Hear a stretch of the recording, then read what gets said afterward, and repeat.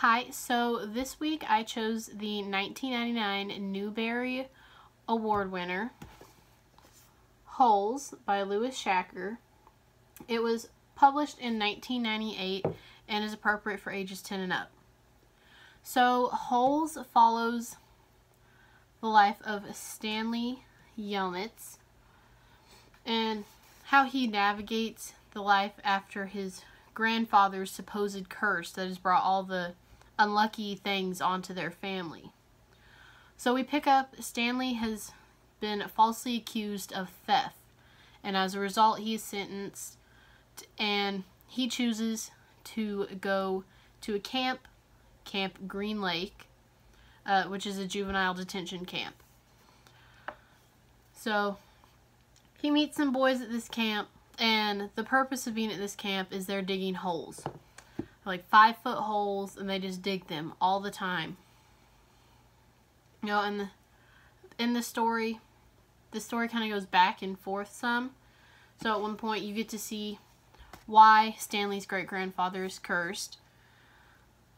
You know, and how, and then it kind of gives you the showing of how Stanley and Zero are also connected. Which I will let you read the book to figure that one out. Um, but as I just said, Stanley becomes good friends with Zero. He's another boy that has been sent to Camp Green Lake. Um, and, you know, as I said, their duty, they're digging holes. But one day, Stanley's digging one of his holes and he finds a tube of lipstick. And it has the inscription KB on it. And he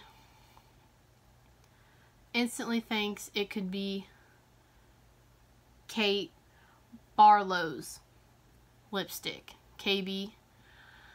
So he shows it to, well, he gives it to another camper and they turn it into the warden. And as a result, the warden starts making them dig more and more. So he finally is like, okay, so the, we're digging more holes.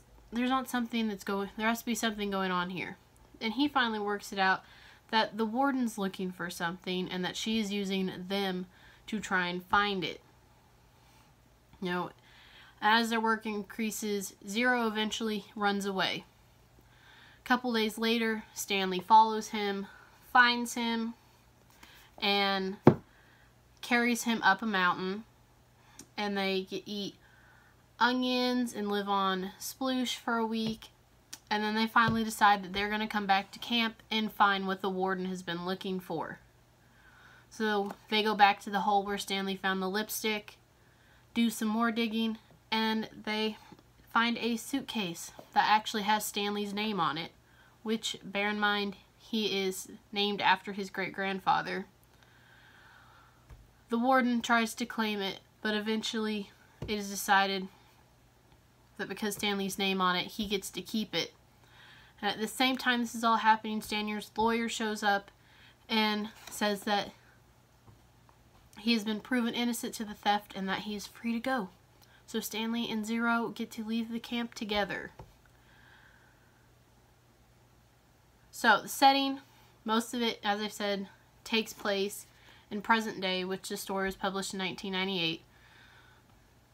Present day in Camp Green Lake, which is set in Texas. And Camp Green Lake is actually the site of a big dried up lake. So it's very dry, hot. You know, they don't get a lot of rain there. That's why the lake dried up. Um, that also goes back in time a big portion 110 years ago before Green Lake dried up when it had peach trees growing around it back in Kate Barlow's time. Theme, I think, in this book, cruelty does not earn respect. It does not get you what you desire. The warden was cruel to the boys, and she never got the treasure she was looking for. You know, it's another reason. I also think it could be good. You know, Stanley, he stuck to his beliefs. You know, he didn't let the warden's cruel behavior change how he thought of himself, how he acted towards others. You know, he realized that the warden wasn't going to get what she wanted.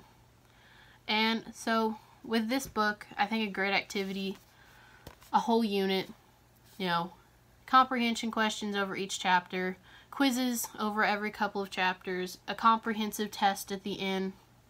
I also think it would be good to have students watch the movie Holes, compare and contrast it with the book, write a short paper over it, about six paragraphs, introduction, two similarity paragraphs, two different paragraphs, and a conclusion. A fun activity I found, though, was also making the sploosh that is mentioned in this book. You know, Captain Barlow's canned peaches that they get to live on, with the nickname sploosh. So as a class, make it, you know, get the kids to try it, see what they, what they had to live on for a couple, for about a week to survive. And I did link that on my actual written paper for this book. So I definitely recommend Holes go out to your local library and find it.